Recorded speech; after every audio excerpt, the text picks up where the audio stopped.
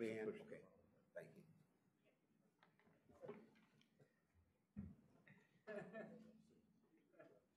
Well, Dr. Smith, Chancellor Head, members of the board, it's uh, my pleasure to represent the presidents tonight uh, for our uh, monthly board report. This does make presentation number seven in about four days. So, yeah. uh, but on, it's perfect uh, segue on the heels of what you just heard Dr. Head explain. Uh, Lone Star College, Tomball, and all of the other colleges as well are very committed to changing the world and uh, making it a better place. And we recognize that too much has been given, there is a great responsibility to give back. And you can tell by the presentations from AACC uh, the kind of giving back we're doing at a national level. We also give back all the time uh, throughout the year. And what I want to share with you tonight are some ways that Lone Star College is trying to not only impact the success of our students, but the success of students all over the country by sharing uh, our information, our practices, and just what we do. So a few examples and highlights of how we do that. So Lone Star College Sci Fair uh, this last March held their second annual math symposium. As you can see, they brought together instructors, tutors, uh, different folks, over 100 people from these colleges to collaborate on best practices in math from Lone Star College, University of Houston, San Jacinto, San Jacinto Georgia Perimeter, and Cy-Fair ISD. Here's some pictures from, from that event. You can tell it was very well attended and a very collaborative session on how best uh, to engage students in math. Lone Star College Kingwood uh, had its History Day conference, and the purposes there are also to bring together K 12 educators in the college for the purpose of professional development, to share resources, to examine history and the necessary instructional tools they can use to teach uh, their students in June 2018 at the Holocaust Museum. Before you go any further, is that Craig Livingston It is. on the right? Okay.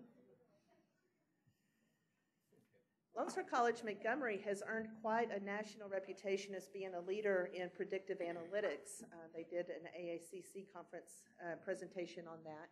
But they've also made their expertise available to those of us throughout the college.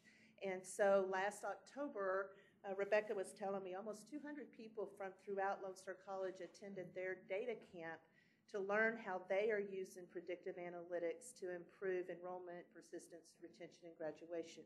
When they have their next one in 2018, that will also be opened to other colleges uh, as well, outside of Lone Star. North Harris offered a Partners in Education event, an Educational Partnership Expo last March. Again, they brought in counselors, teachers, principals, administrators from both public and private schools in their service area to talk about all of our services and pathways for students from transfer, financial aid, workforce education, and the Honors College as well. Lone Star College Tomball is about to offer its third annual Grit Summit. We started this in 2015. Uh, we've had people from around the system present their stories. We've talked a lot about stories tonight. Dr. Alton Smith was one of our presenters. Last year, Mario, several folks from throughout Lone Star have shared their own grit stories, how they overcame adversity. And our purpose with this summit is to highlight ways that we can develop the resilience, instinct, tenacity, and growth mindset in students around the country. Save the date for Friday, October 12th. I'm very excited about this year's keynote speaker. These two students, Ayrton and Alex Little, were recently featured on Ellen. They were raised by a single mother, Maureen Little, on the verge of homelessness. They actually live in the area, and they both were accepted with full scholarships to Ivy League schools. And Maureen, the mom, is our keynote speaker in October. So we're very excited to have her share her story about how she instilled this kind of mindset in her sons. Lone Star College University Park had their second annual Texas Open Innovation Conference where they partnered, as you can see here, not with just educators, but with also employers in the area. Noble Energy, uh, Oral Roberts University, Harris County, CEO Willowbrook Hospital, Methodist Hospital, all of those, even NASA, ExxonMobil, you can see here, to talk about how to innovate, how to partner uh, the, between education and the business community. Here's some great pictures from that event, also very collaborative and well-attended, uh, very much a, a way to give back, not just to our com- community, but to our employers as well. But we're, the colleges aren't the only ones doing this. I wanted to just highlight a couple of the conferences that are offered by our system office. They are also very committed to sharing with other colleges around the country.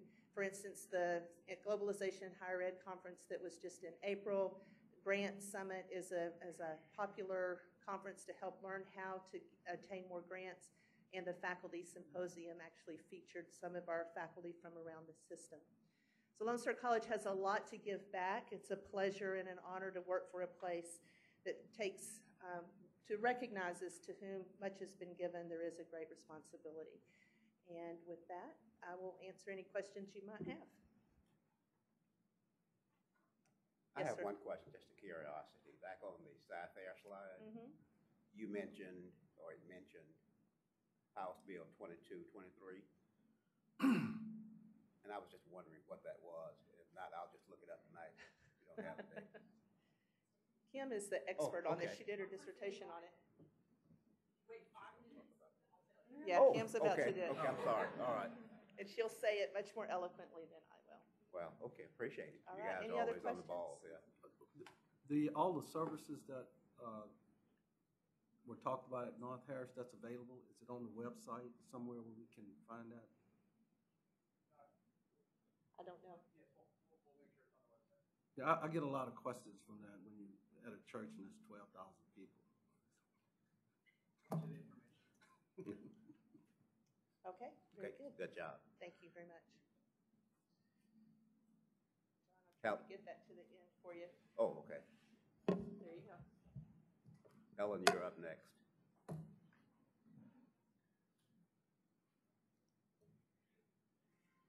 More than 600 guests attended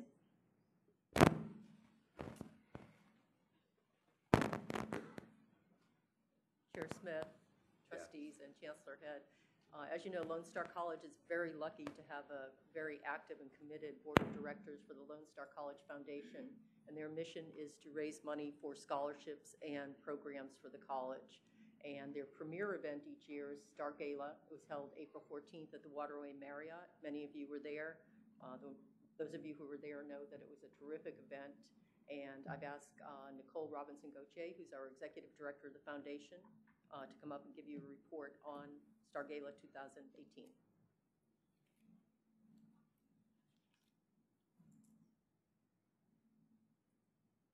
Good evening. Well, I'll just let the video speak for itself because the majority of my report will be right here.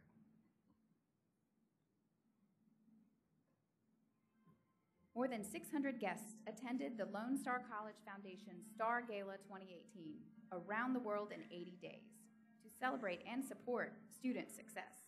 A highlight of the evening was when Lone Star College Promise Scholarship recipient Rachel Perez was presented with a scholarship to attend the University of Houston downtown to continue her studies.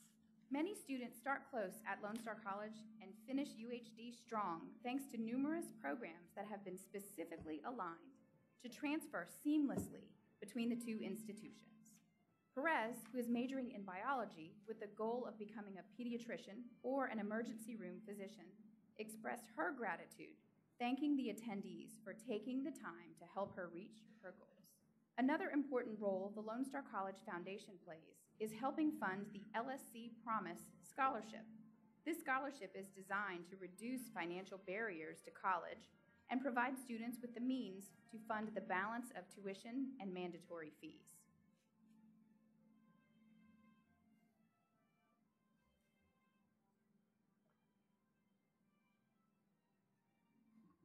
Star Gala 2018 also featured many sought-after silent and live auction items, including Golf with the Chancellor, which raised more than $27,000.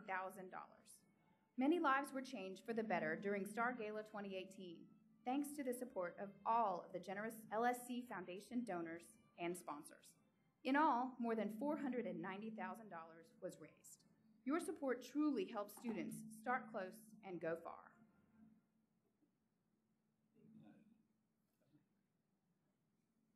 That would a perfect little capsule, but definitely the highlight of our evening was University of Houston downtown surprising our Cy-Fair graduate, who was a scholarship, promised scholarship recipient, um, with a full scholarship to continue her education. And we were wonderful that um, Sheila Jackson Lee, our Congresswoman, joined us for the, ev- the event and uh, gave a speech and uh, honored us with her presence. So lots of great things happening at the foundation, and so thank you for your support. And just wanted to make sure that you had some information on what we're up to. Did you want me to give a little bit on the uh, flood report? You mentioned Sure. that. I put you on the spot. My apologies, but right. one of the things that uh, has come up recently is uh, we've given out a, a great deal of funding in Hurricane Harvey relief, and there was another round of funding that came through this spring that I wanted to make sure you were aware of. Um, our, our anonymous donor that gave in the fall uh, came back with another um, half a million plus uh, gift, and the gift was given to students who had not received any funding since the fall. So there was that initial round, and then students had received some funding here and there. Um, but on the six month anniversary, they came back to me and said, We want to do it again. They're very quiet about it. It's just the, the best kind. Um, so over the course of the year, we've been able to fund um, almost $1.8 million in um, funding for Hurricane Harvey relief, and it was 2,061 students and 560 employees. 1.8 uh, from the foundation, does that include the money that the city gave us also? Yes, sir. There Okay. was money from the city of Houston, there was money from TACC, um, Hearthstone, the anonymous donor, um, we, and we have monies that came in um, from community colleges all across the country, local donors, and then what uh, Lone Star College and the chancellor has, had put together to help the employees.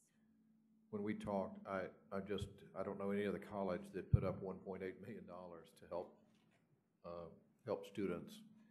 Most of it's from the anonymous donor, but we put up quite a bit ourselves, and the, com- the community did, so,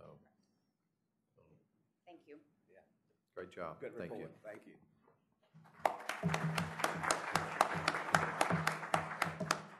Kim, now you have a chance to tell me about House Bill 2223.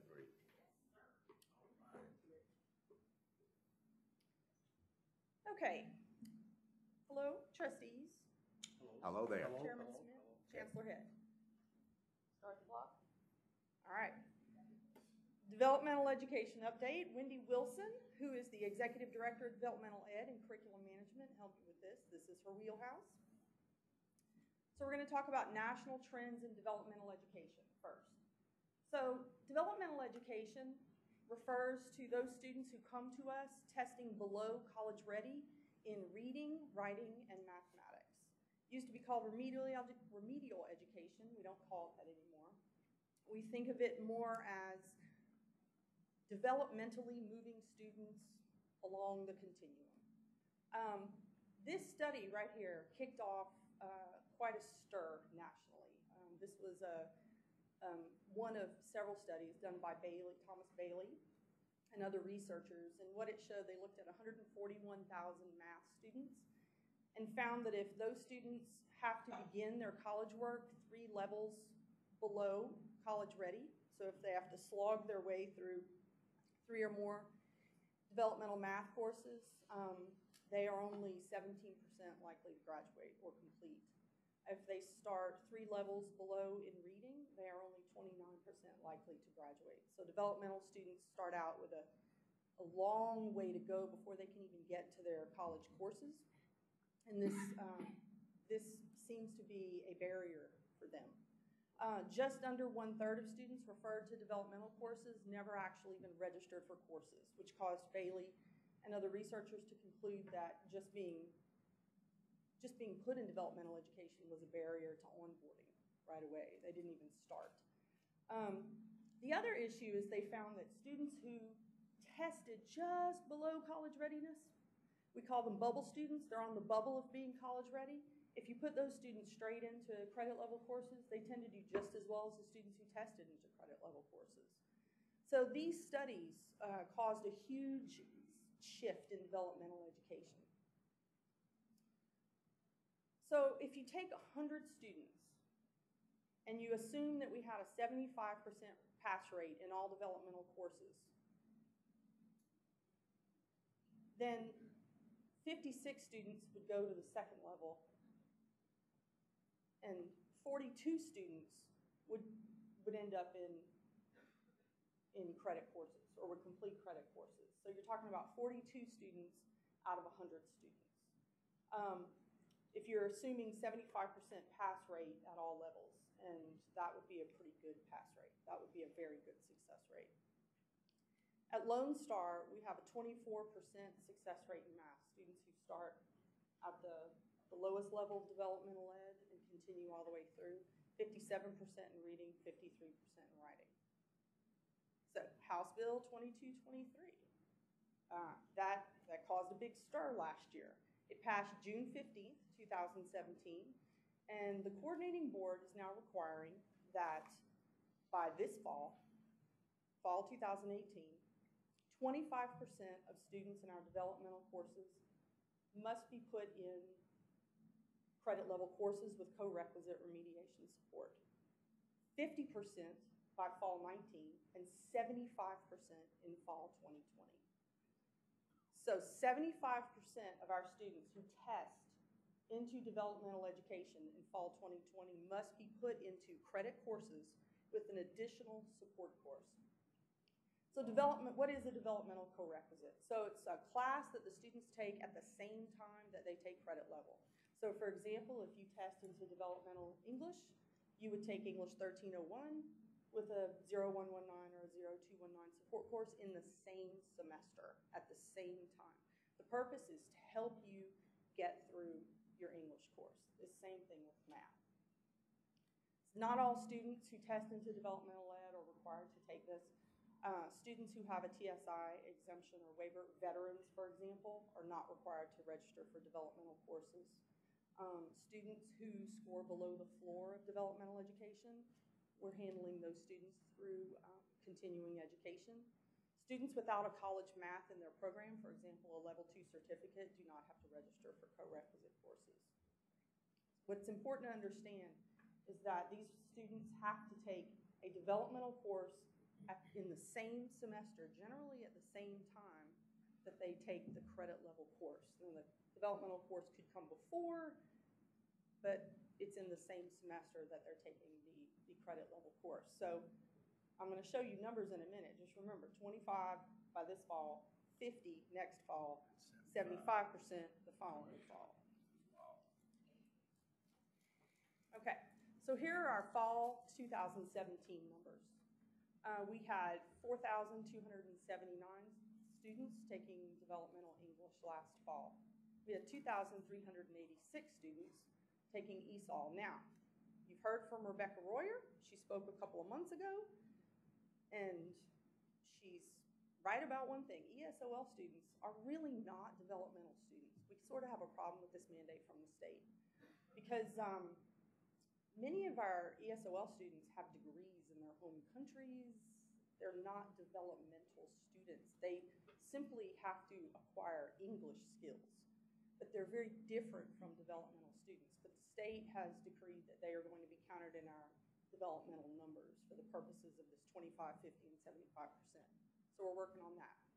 Math is by far our largest developmental population, 10,579 students last fall. So the grand total is 17,244. The total eligible for co-requisite is 7,176. So here, uh, Lone Star has said, okay, 25% is what is mandated by the state, but if we set our target at 35%, then we definitely won't fall below our numbers for the state. So we've set a 35% target for ourselves. That means in English, we have to create courses for students for fall for 1,300 students. That's a lot. We have been working very hard on this all year, and 1,200 students for math. I want to take a minute to congratulate Wendy Wilson, who came on sometime last year, year and a half ago. I don't remember when exactly, but she she has worked wonders. She has gotten six colleges to agree on how we are going to do this for mm-hmm. English and math.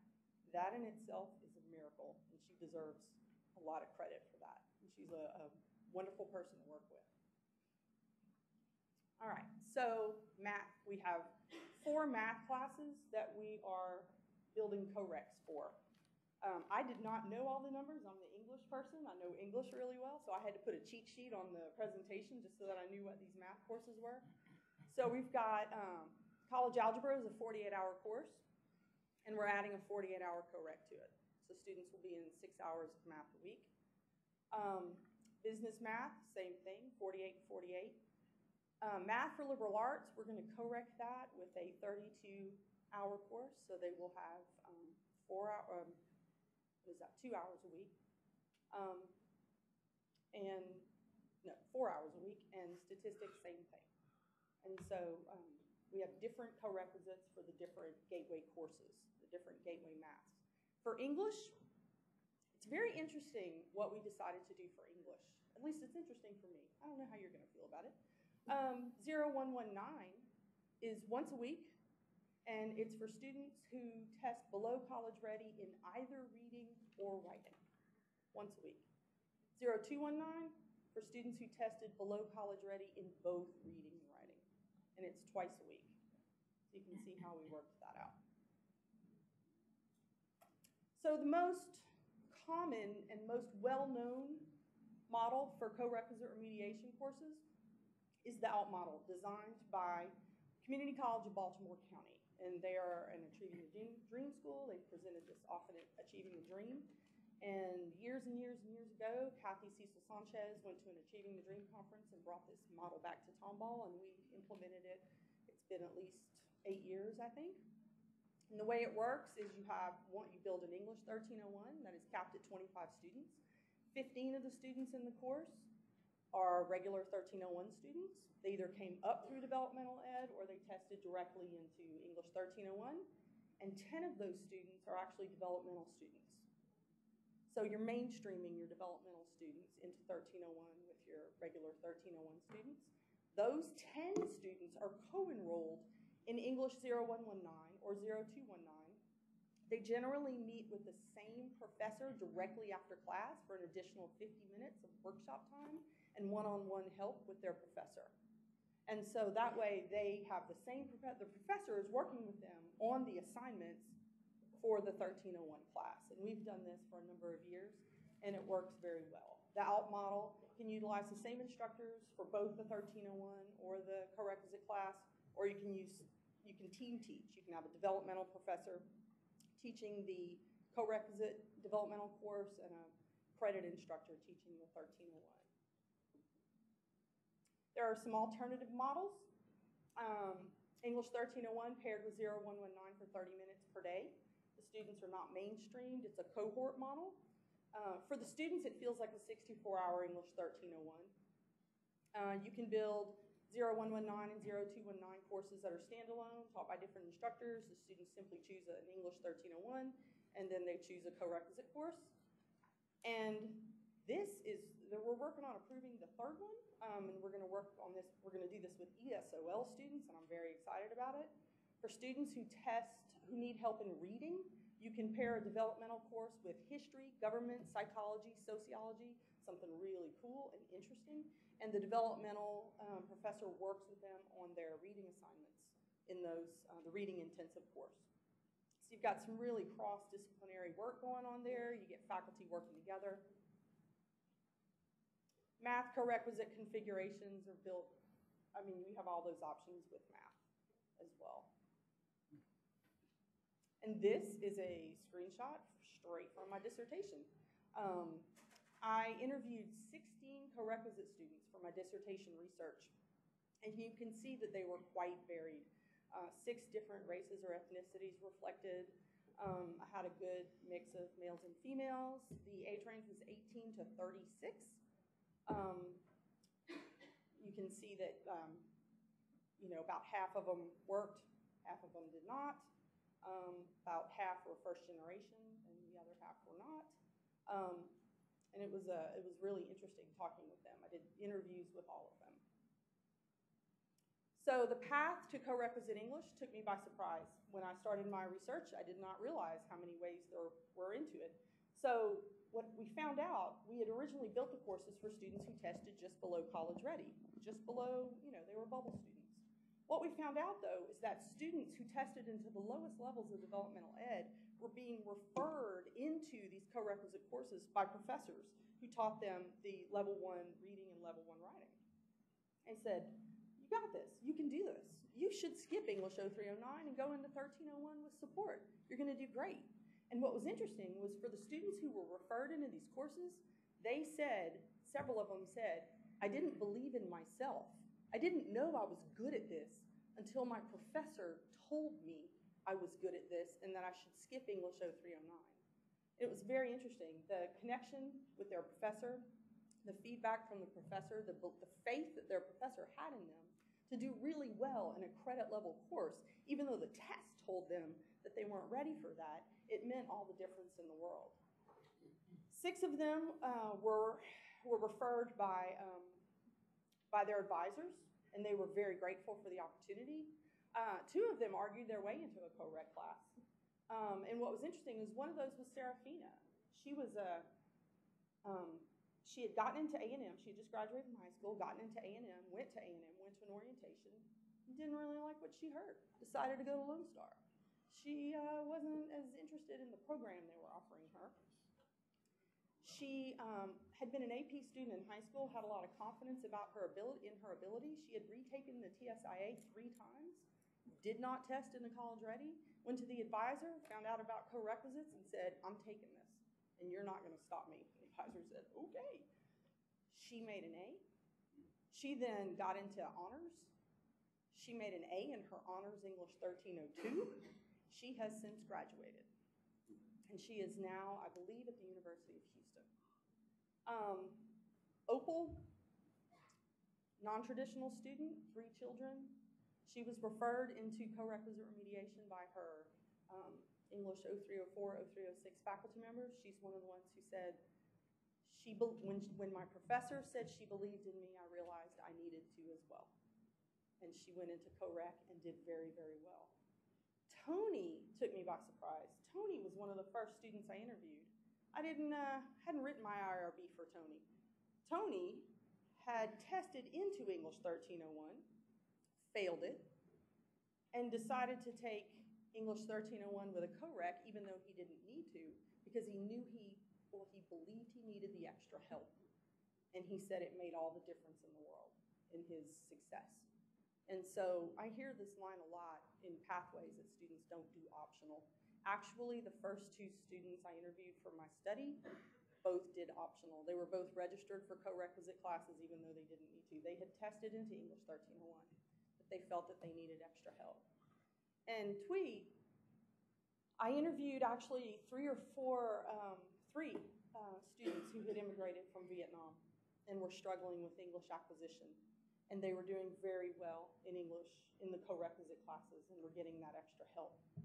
And so my, my pool was very diverse. The outcomes for the students in my study, all of them passed English 1301 with 0119. 11 of them, 11 of the 16 enrolled in and passed 1302. Of those 11, three have graduated and several are still enrolled. Several indicated transfer plans in their interviews, so I'm pretty confident that they transferred. Of the five students who have not passed English 1302, two are still enrolled off and on, and three of the five have disappeared. So I think that, um, I know that my 16 students probably aren't indicative of national trends necessarily, but they were pretty successful. Um, and these are students who would have possibly languished in developmental ed for, for several semesters. So it cannot be emphasized how much money co-requisites saves them. They don't have to take it, you know, they're only taking a one or two credit class as opposed to several classes over several semesters. Okay, and this is my last slide. This has nothing to do with prerequisite remediation, but I wanted to ask, does anybody know what this refers? Anybody in the room at all? What? That's right. You What did it say? win an award. What did he Yes. say?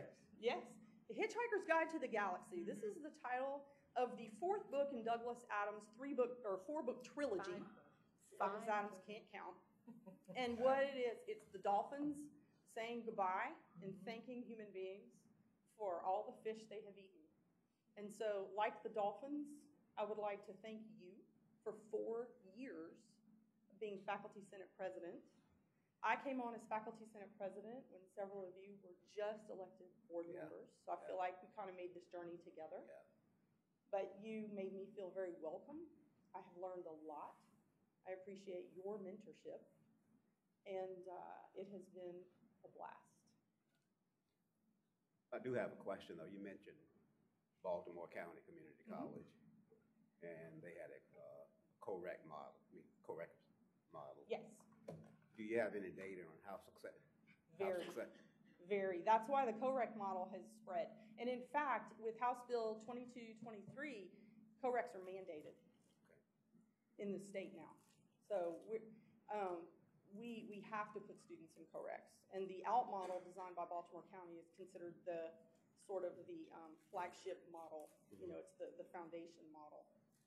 So it's, they, So that- students do very well. So our graduation rate should, should Yeah. increase substantially as a result of it, if the data Yes. plays out here. We're hoping so. What we're hoping is that developmental students won't stop out, drop out. They Right. will be propelled forward. That, combined with our pathways work and all that, should, should help, should increase our completion rates, our success rates. Excellent, excellent. I think, Thank you. Alicia, did you, you worked at Baltimore County, right?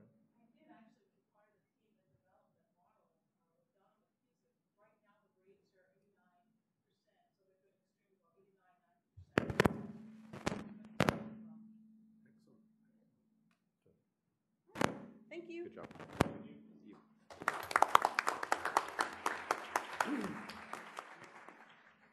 Kim, and the meaning of life is 42. Yes. Okay, board members, you've heard reports from the, from the administration. Now it's time for you to tell us about schools that you've visited over the last month, other things that you have done that's worthy of being mentioned, mentioned. And I'll start with Ms. Good. Thank you. I had the pleasure of attending the 15th International Ed Conference um, on April 20th here um, at the system office. It was very informative. It was also very exciting to see everything that we are doing as a system to foster um, international education as a two-way opportunity, both getting students out into the world and bringing the world to the students. So I encourage you to attend next year. Okay, I will, thank you. Hey, Kyle? You got anything? Miriam? I, I'm gonna go last. No? Okay, Ken? I'm fine. Go ahead. Uh, I have two very brief and worthless announcements. Brief and worthless. That's an option. This is going to be very short. Oh, no, no problem, go on, go All ahead. right. You have the floor. Uh, There is in Homer's Odyssey a mean beast with one eye called Cyclops. Yeah. This eye does not work. I'm going to go in in a week and try to have it fixed to see if I can get it up and running. In the meantime, I shall be addressed here tonight not as trustee Trowbridge, but as uh, trustee Cyclops. That's why I'm just. Okay. I, I'm almost done. Oh, I thought you were through. No. Okay, go ahead. My second worthless announcement is I have decided to move to California. I have put my house up for sale. I intend to become a California flower child. That's it. Okay, appreciate it. Uh, I have a few things I want to, want to mention. The list is kind of medium long. Uh, on April nineteenth, I had the opportunity to attend the Rising Star Banquet that was held at the Hyatt Regency North. And I was invited by a North Harris student. I found it real interesting and it's stuff that I like anyway. It was recognizing, I think, students that had, that have gone over and beyond and that were nominated by their peers. Uh, on April the 27th, I attended the National Association of Collegiate Scholars at Montgomery, and I was the guest speaker, you know, at that particular event. I had never heard of this organization, but I was really, really enthused at the number of students that were inducted that night that had a perfect grade point average. And one of them was a student that had a sight disability, you know, which shows that all of our students can achieve, and we make accommodations for those that have situations that may be different from others. Um, I had, a, along with Quentin and several other folks, I had a chance to attend a follow-up meeting with the Mayor's Committee on Complete Communities. And what they were basically looking for were things that Lone Star can do to help underprivileged communities become self-sufficient, as I, as I put it. Uh, Dr. had already mentioned the science and innovation uh, activity, that was a, a very well-organized and, and a very uh, worthwhile meeting that I enjoyed, uh, enjoyed attending.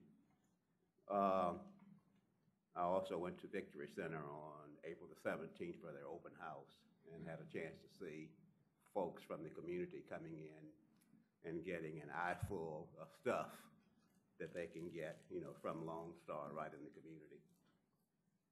The last thing I want to mention is going to happen tomorrow, and I mention this primarily to board members, but it impacts others also. But the, the ACCT, and you may know this already, is having a webinar tomorrow at 2 p.m. And the webinar deals with the reauthor- reauthorization of the Higher Education Act. And it's, it's called Prosper. And the purpose of the, of the, of the webinar is to make sure everyone is up to speed on what, what has been proposed under Prosper. And all you have to do is register for the webinar, and then they'll make sure that you have, have access to that particular data. So I encourage as many of you that can, listen to that webinar and provide input to your elected officials on stuff that you agree or disagree with, but it's your opportunity to be heard. Oh, I was going with that, well, okay. Thirdly, and lastly, I know this is long, I am attending a CCATT, which stands for Community College Association of Texas Trustees. I will be attending a session on January the 1st and the 2nd. And June, June 1st, what, is it January? Good God Almighty. Okay. June 1st and 2nd, thank you, that's a long time to wait. And uh, during this meeting, there's going to be an election uh, of our offices that are open. And the offices that are open is our chair-elect, secretary, and four at-large positions. And I have been asked to become a candidate for one of the at-large positions, and I, uh, I gladly accepted the opportunity. So I'll try to bring the uh, victory home. There are six folks that have applied for the four positions, and I, I'm, I feel pretty confident that I'll get one of them. I appreciate your support in that. And with that, that's all I have in that particular category. Any, anybody else have anything else? If not, Helen, do we have any citizens wishing to speak to us tonight? Three, okay.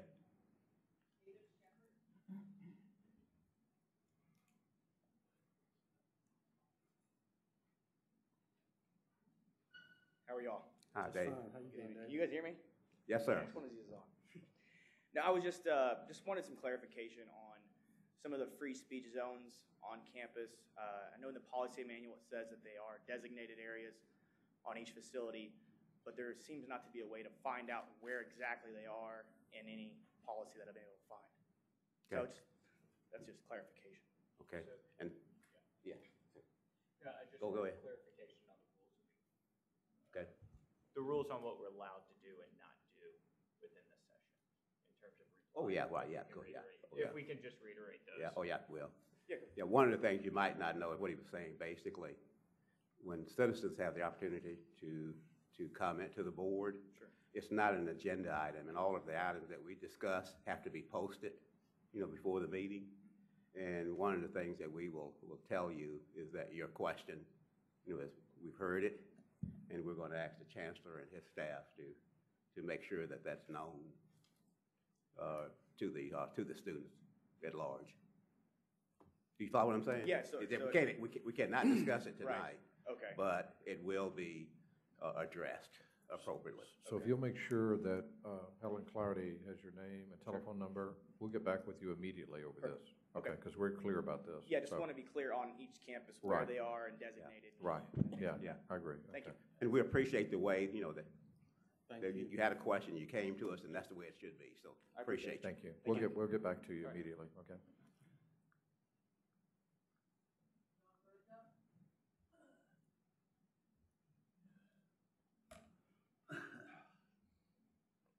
Good evening. Good evening. I am John Burghduff, representing the American Federation of Teachers. At the April Board of Trustees meeting, Faculty Senate President Dr. Anthony Carrera from Kingwood finished his speech to the board by affirming his support for taxes. Board member Dr. Kyle Scott followed up by asking him, and all of us really, what he believed was the correct balance between taxes and tuition in funding Lone Star College. This is a difficult philosophical question that has a very real impact on Lone Star students and district citizens. As everyone here to know, tonight knows, the three main pillars of community college funding in Texas are state allocations, local taxes, and student tuition. The state expects Texas public colleges and universities to increase the number of degrees granted by 1.7% per year to reach a goal of 550,000 de- college degrees in 2030. However, every session, the legislature cuts the percentage of higher education costs the state will cover. Unless there are dramatic changes in state leadership, that trend is going to continue. Therefore, unfortunately, the ever increasing costs of educating more of our fellow Texans fall at the feet of our local taxpayers and our students to ever higher degrees. Dr. Carrera confessed that he did not know what the proper balance was between local taxes and tuition. We in the AFT don't know the answer to that question either. However, we have some thoughts to consider regarding one of those sources. According to the Texas Association of Community Colleges, Lone Star College's property tax rate of 10.72 cents per $100 of valuation places us 44th among the 50 reporting community college systems. For years, we have taken our low tax rate as something to boast about, and we have systematically lowered that tax rate many times. Fiscal responsibility is obviously a great virtue, but over the years, that frugalness has hurt us. For example, before Dr. Head became chancellor, Lone Star had fallen to second from the bottom among Texas community colleges on percentage of classes covered by full-time faculty. Fixing that one problem is very, very expensive, and we're grateful that that process is underway. But now, facing the enormous physical damage from Hurricane Harvey and the drop in enrollment that has followed, we are faced with the prospect of cutting class sections for fall, even while we need to grow. Across the state, the average tax rate is about 18.06 cents per $100 valuation. This is approximately what our neighbors at San Jacinto College levy. If Lone Star charged the state average tax rate, our property tax revenues would increase by, by over $123 million. What would the impact on a typical taxpayer be? For a house valued at $200,000, property taxes would increase by just over $12 per month. In terms my freshman students could relate to better, that's three grande lattes per month at Starbucks. Is that too much to ask? What if we only raised the tax rate to the rollback rate? This is the rate above which citizens could petition for a tax rollback election. According to the Lone Star College website, that rate would be 11.37 cents per $100 valuation. That increase would cost the homeowner described previously only about a dollar extra per month and would bring the college an extra $11 million per year. This rate would still put us substantially below the rates levied by, our friends in the Dallas, Alamo, Tarrant County, and El Paso community college systems. We live in a time when, for some political demographics, the reaction to any hint of a tax increase is a knee jerk no. Yet, most of the citizens of our district recognize the incredible value Lone Star College brings to their families and their communities. We believe that they can be convinced that it would be worth a dollar a month, or maybe even a latte, or two, or three. Thank you very much. Thanks, John. Thank you.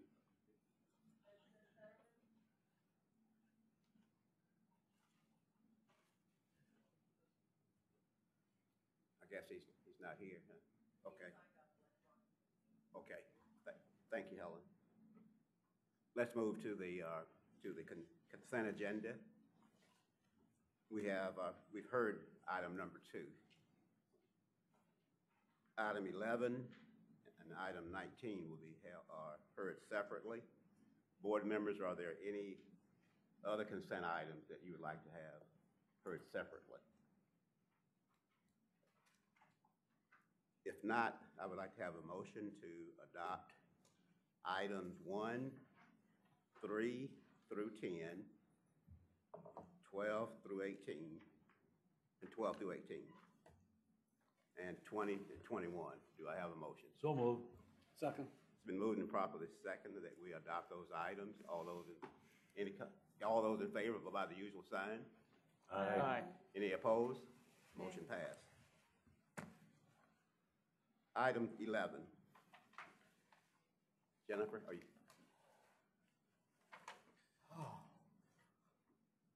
I asked Jennifer to explain number 11 and number 19. I, I wanted to be very clear and upfront about what we're, what we're asking for in both cases. So, Yes, so on number 11, what happened there is when the Spring ISD lease was initially entered into, it was for $30,000, which is below the $100,000 threshold of what needs to come to the board. So initially, that lease was not brought to the board. There came a point this past February where it was realized that it needed to be renewed, and quite frankly, it should have been brought to the board at that point in time because cumulative, the lease exceeded $100,000. Um, The expiration date of end of February, this was realized early February when it was already past the board date, so, and it- I did sign an administrative approval to renew that lease, so we are bringing this item today requesting ratification and recognizing that simply being late on getting this lease renewed is really not best practices. So the, this is the Truck Driving Institute, and what's the total amount of money?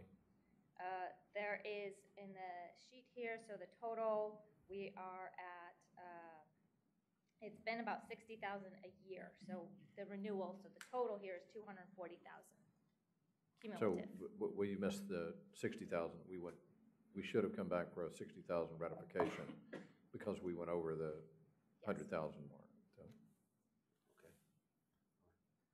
So you've heard the explanation. Can I have a motion on item number 11 and a second? So move. Second. It's been moved and properly second that we adopt item 11. Comments, questions? Just one comment. I really appreciate the, you know, us recognizing the error, bringing the error forward. And I like the transparency, and even though the error was made, so thank you for bringing it back rather than cover, well, rather than not bringing it back. I I almost used a word that we don't want on the record. Okay, so any other comments? All those in favor, vote by the usual sign. Aye. Opposed? Motion passed. So number 19 uh, deals with Kingwood, and um, our goal is to open up Kingwood in January of 19, fully open January 19. And our total cost so far, the damages from the hurricane are about 40 million. But the longer we go with Kingwood not fully opened, it's really beginning to hit us in the pocketbook. So uh, what we're asking for is some approval to move forward that's out of the norm for what we would do so that we can expedite Kingwood and, and get it opened in January. So if you'll explain exactly what's going on there. Yes, this is to help us meet opening January 2019. So our typical process, I mean, so for Kingwood, there is a lot of, a lot, $19 million worth of specialty equipment, lab equipment, furniture, IT equipment that we need to get purchased to reopen January of 19. Typically, our process for doing purchases is we go out for bid on those items and we receive those bids in. Um, an evaluation is done of quality and cost, and then what we bring to the board for approval for those items over 100,000 is a request to authorize us to negotiate and execute a contract with a particular vendor to purchase that item. So it goes by item. This does add about two months to the entire process. So what we are doing here is we are putting together the list of everything that needs to be purchased. We have not yet gone out and gotten all of these bids, but what we are doing is asking here for authorization to spend up to $19 million total and to give the chancellor authority to execute individual contracts that'll be above 100,000 but not above a million. That way, as we get bids in, we can just immediately go and execute that contract and complete the purchase. So this is similar to, somewhat, to the authority we had before when, for emergency purchases, but everything would still, well, if it's over a million, it would have to come back here, period. If it's uh, over a hundred, in between that up to a million, we would move ahead with it. We would still notify you, like we would, that we've done this. Then we would come back at the next board meeting and ratify. So the problem that we have right now, or the challenge is, we're not meeting in July. So some of the options, that's, that's under the best-case scenario, is that we would have to have a couple of special meetings to approve our expenditures if we don't do something. I don't think, the way things are going, that if we don't have this authority to move ahead, that we're gonna be able to get everything um, ready for Kingwood by January, if we have to wait for the board meeting. So that's what we're asking for. This is a, a one-time, this is not a permanent um, uh, policy change. This is for Kingwood only for this particular situation, so. So I want to make sure I understand. Are you asking for authority to go outside our usual procurement process to, for the purpose of purchasing these items for Kingwood? Up to $19 million? It's a lot. We are not changing the procurement process. We're still gonna, it's still gonna be the competitive processes of getting bids. What we are changing is sort of the order of when we come to the board. Typically, we receive the bids, and then we come to the board for approval with a specific bid and vendor to purchase the equipment from. Um, so we- typically, we come at the end of a competitive procurement process. We are still doing a competitive procurement process. I absolutely want to make sure, because that's how I get FEMA reimbursement, hopefully. Um, But really, now we're just coming to the board on the front end instead. That way, once those competitive bids are in and we see where the best value bid is, instead of at that point coming to the board, we already have approval to then just take the contract to the chancellor and complete the purchase.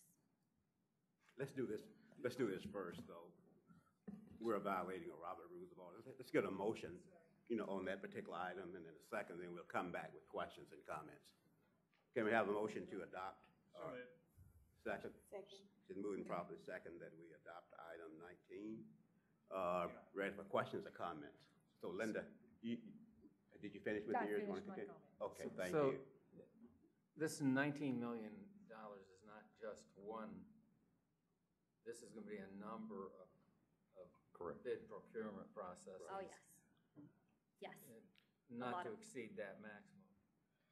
Yeah, and And- um, the bid tabs that are typically included when we bring the individual items to the board for approval, we can definitely still provide all of this to the board for information to show that we have followed the same processes that we would normally. So give them some examples of what we're talking about here. Um, I mean, really, the, one of the big ones is gonna be furniture. I mean, we're gonna have, hopefully, at the June board, you're gonna see a request to approve the construction. And that's gonna be obviously very important that we have the construction firm come in and rebuild everything, but then you're gonna have empty rooms. We're gonna need desks, we're gonna need tables and chairs for the classrooms. Um, it's a lot of, of purchases. And uh, like I said, we don't believe any single purchase exceeds a million dollars. So you are talking about a lot of, you know, two, three hundred thousand dollar purchases. We're basically refurbishing six buildings over there. Yes. I mean, it- it's a, it's like a startup of Are another are college. you refurnishing, refurnishing the second and third floor of buildings? or just- No, just the bottom floor. Yeah. Right. Just the bottom floor. Um, but then IT equipment as well, a lot, you know, a lot of the computers, um, that need to be replaced. Are, are If I any of remember. those in- already in the, plan in the budget for recycle? I'm sorry, say that again? I said, are any, any of that IT equipment, is that, any of that in, already in the budget for recycle? I mean, there is the, whatever that typical budget is, but this is to replace all the computers that were lost. But weren't some As a of result them of the to be replaced anyway in this cycle? Oh. Yeah, Link, Link knows. So when we went, when we reviewed all the IT equipment that's in there, there are some that we have phased out of that because they are the end of life cycle and we do replace normally. Those were pulled out of there. We also pulled a couple other items out of the FEMA process because we already have the money to take care of that through normal life cycle. Okay, thank you. Who, who's on the bidder selection list? Uh, Who's, what, what's the team? Who's that team that make the selection on the, on the bids or whatever? It's gonna be a lot of them. We're making a lot of But are the- individual purchases. You and who else will be making that decision? Uh, So it's, um, I don't sit uh, on, I'm not gonna be sitting on any of these selection committees. Um, and it's gonna be depending on what specifically is being purchased. So, like I said, for each one of these items, I can, will definitely come back with a full report Okay. on all of the documentation that you would normally see in a, in, uh, an agenda item. So we would not be coming back to the board for ratification. We would move ahead. The only thing we'd be coming back to the board, or coming to the board with, is a million dollars or more. All those individual items, we want to move ahead so that we can get the college reopened. Yes. Yeah, so the bid process is gonna be the same. We're still gonna be getting the emails about blacklist, or, right, so we're not gonna comment. Now, we've proposed something similar, um, in terms of the spending that coming back for the reauthorization that I didn't support at the time, but this seems to make sense in that it's a one-time authorization and not an indefinite au- authorization. The funds are not fungible, they have to remain within Kingwood. And this nineteen million escalates almost exponentially if we go past the January deadline, because we start hemorrhaging students at that point. And, which means our revenue stream gets hit. Not only that, we have a negative impact on the students. Students who would have matriculated won't, and students who we have a tough time retaining drop out. Yes. I think that part's the key, key point. I think you mentioned that we want to open in November, in uh, January of 2019. Don't my date. Huh? January of nineteen. That's, that's what I, well, that's what I said. January 2019. You said it. You- Did I say it that time? Yeah, you, you Okay, picked it all up right, the first okay. time. I got it the first time. And a delay because of the process could cause the building not to be ready in time. So what that would result in, have us having to wait until the next following semester Right. to open. It's kind of what Kyle said, okay. We're potentially talking about several million dollars lost revenue here. Yeah. That's what's been happening with the declines in Kingwood, so. But that assumes that we don't otherwise approve things in time. Did I hear you say something about the other option is some special board meetings? Yes. Yes, yes. So that's the, the alternative to granting this $19 million of authority. Yes. Uh, Any other comments? Questions? If not, Those in favor, vote by the usual sign. Aye. Aye. Oppos- Opposition? Opposed. Opposed? Okay, it's two op, two opposed and five, six, five. Did I get it right? One, two, three, four, five, two. Motion, motion passed. It passes. Okay. Jennifer, I think you're still on with the financial report, finance report.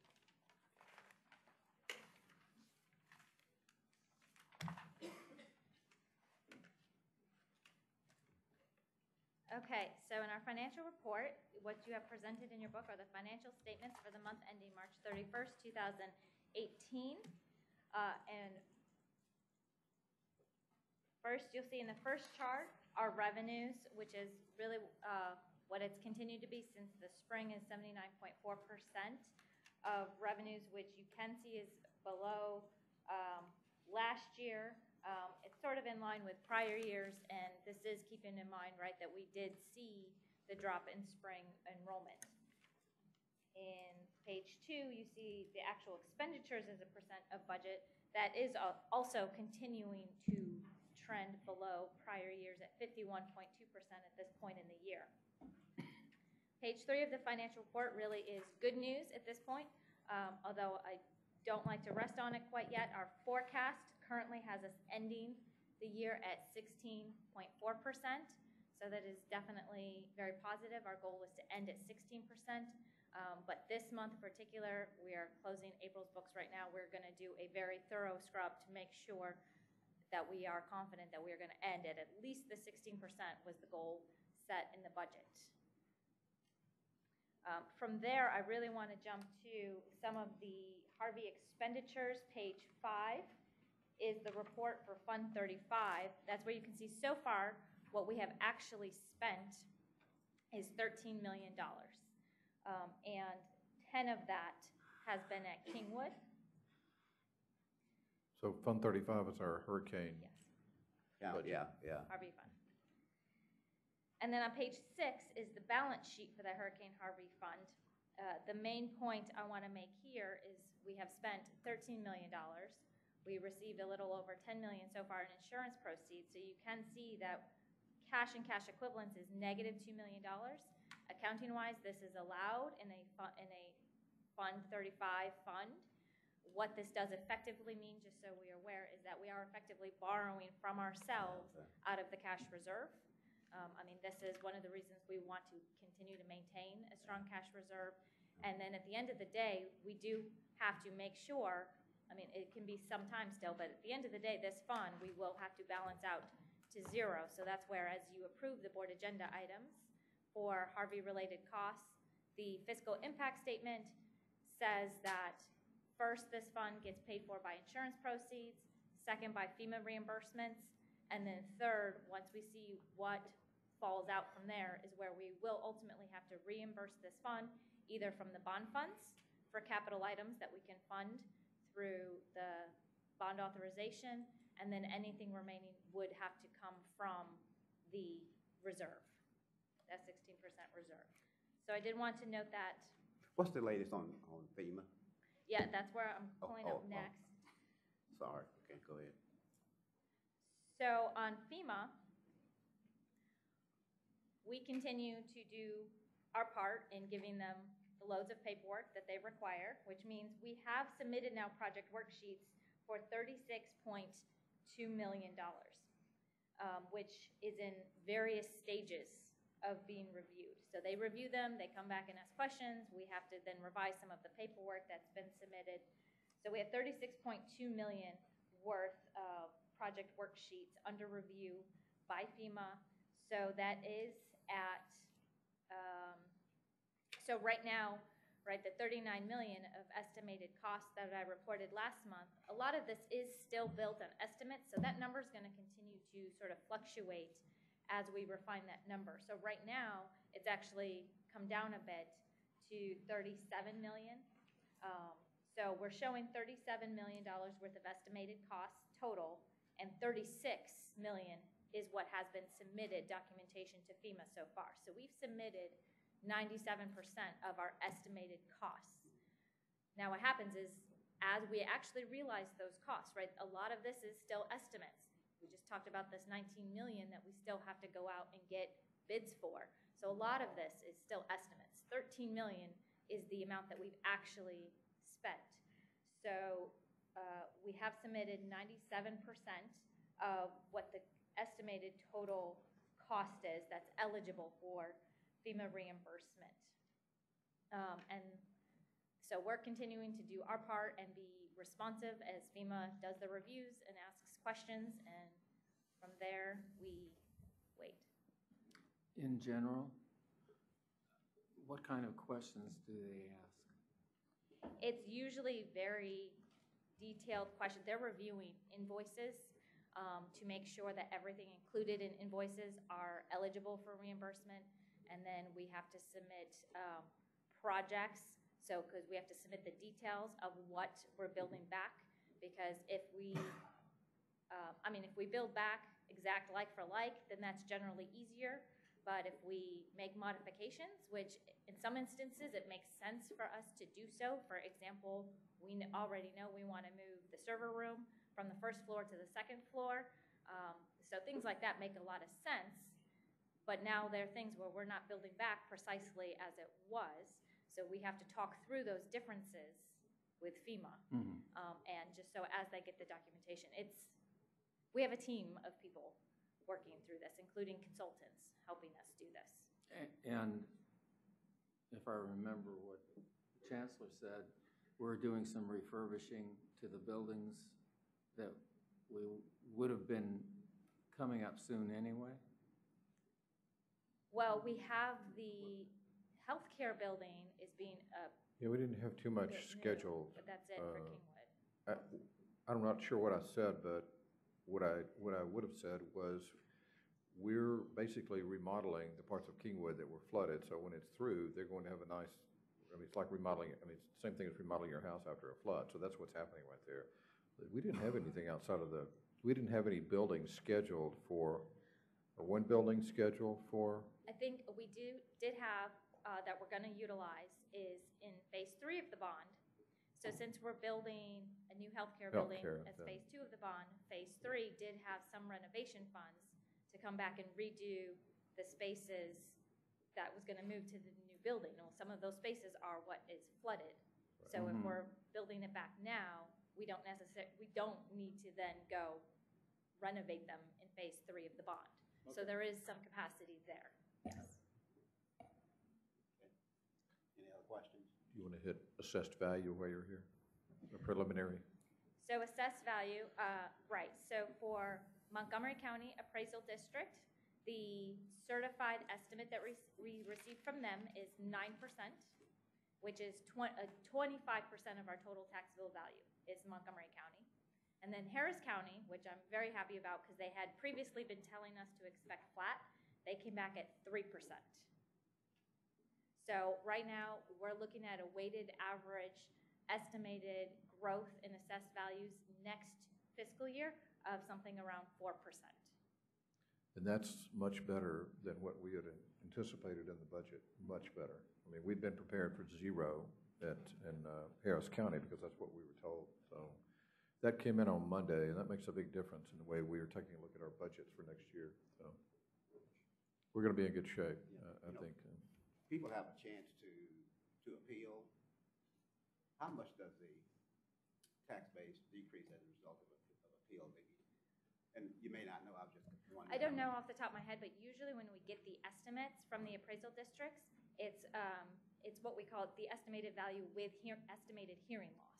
So usually what we're utilizing is allowing some factor for estimated losses, uh, due to those protests. Yes. That's good information, thank you. Yeah, and I can get you the more Well, you don't specific of how don't- much we typically Don't spend any time doing, doing that unless it's easy to get.